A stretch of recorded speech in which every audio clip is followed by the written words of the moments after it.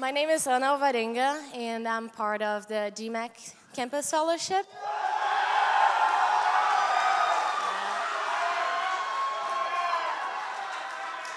Yeah. So uh, tonight I'm going to share how God worked in my life, but first I would like to pray. Lord, I just thank you so much for everything that you've done in my life. Um, I just want to glorify you tonight, Lord. Um, I pray that you're going to use my story and you're going to speak through me, Lord, and you're going to show your character and how you're faithful, full of grace, and how you pursued me. And I just want this to be uh, glorifying to you, Lord. I ask this in your name. Amen. Okay. So I grew up in a lovely family. My parents would supply every need we would have, but God wasn't important in our house. My mother would go to the Catholic Church a few times, and I went to Catholic Sunday school for about a year, but I don't remember anything from it besides the Lord's Prayer. My grandparents are stronger believers of spiritualism, which believes that we are saved by our good works and we are reincarnated until we are good enough to go to heaven. I grew up listening to this, and for a very long time, what I knew about God was what they would tell me or what I would read in spiritualism books. I used to believe that I needed to be good to be saved. And more than that, I used to believe that I needed to be reincarnated until I was perfect enough to go to heaven. So I would try really hard to be good, but it did not sustain me for long. In 2015, my freshman year of high school, I entered a relationship that quickly became my idol.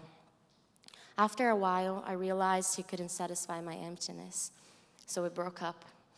This feeling of dissatisfaction caused me to aspire into drugs, alcohol, pornography, and sexual sin.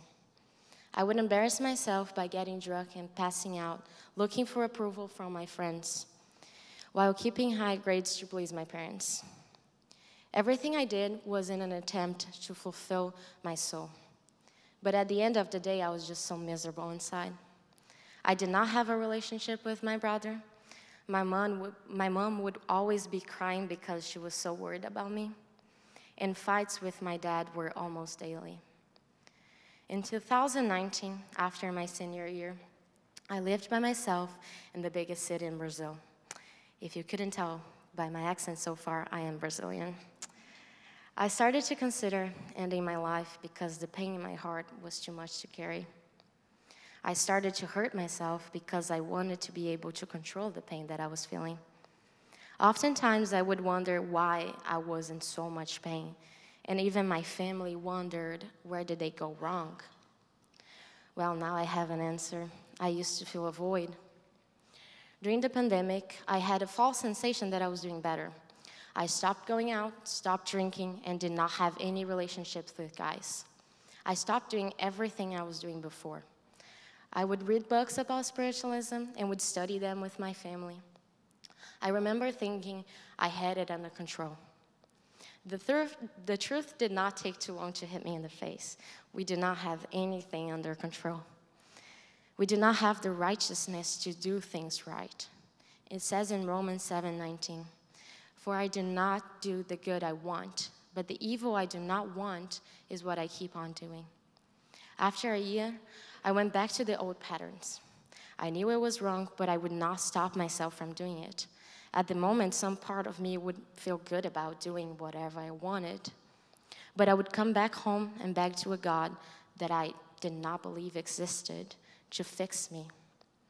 I would feel guilty, weak, and wrong about asking for something that I thought I needed to do it alone. I would pray, but I did not used to believe that He was listening. I used to believe that if God was real, He had left me alone. In August of 2022, I restarted my life.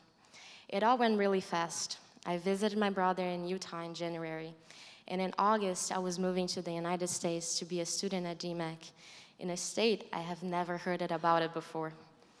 The international advisor from DMACC, Steve Rude, introduced me to Deborah and Leo, a Brazilian couple from Walnut Creek, who introduced me to Anna Edwards, who introduced me to Campus Fellowship.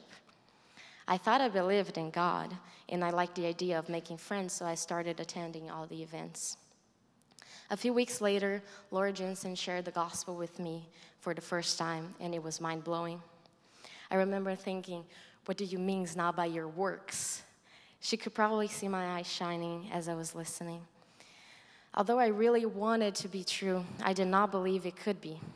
A couple weeks after that, at one of the services of Fall Conference of 2022, my heart finally understood that the gospel was true. My eyes were open to the truth that Jesus had taken all my sins at the cross, which told me that the void would finally be filled with a strong and firm foundation. But my sinful nature needed to die. It took me many Bible studies, midweek Sunday services, and a lot of prayers from friends. I finally decided to give my life to Christ in October of 2022, and I am shaped every day by Him. During this last year, I died so many times, and I would feel His work on me, which would times be hard and painful.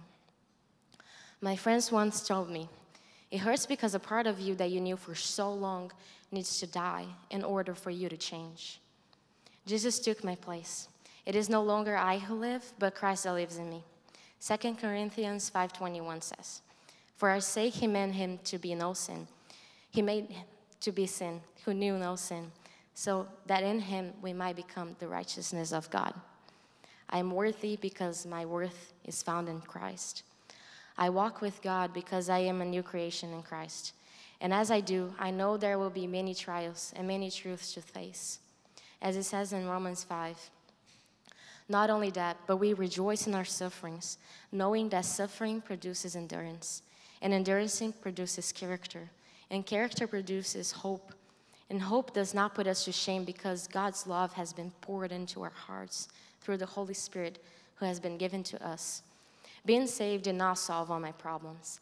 In fact, gave me a clear vision to see them better. But I know I can cry out to my Father and he will help me. He will hold my hand and show me the way if I allow him to. I no longer need to cry out to a God that I doubt the existence of. I feel His presence when I pray. I know He holds my hand when I have no clue what I'm doing.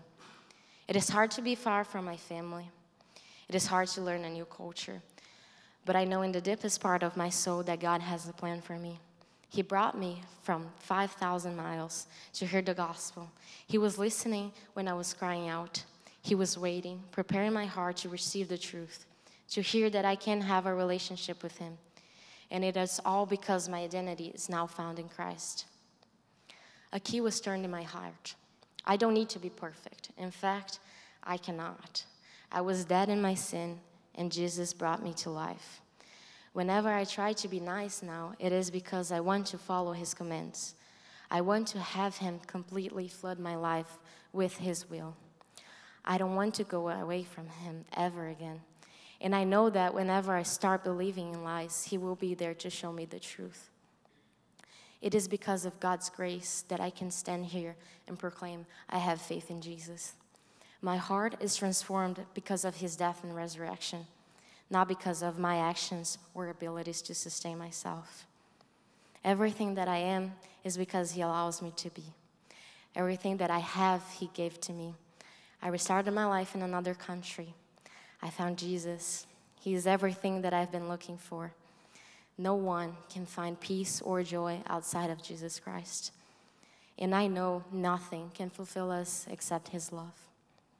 Thank you.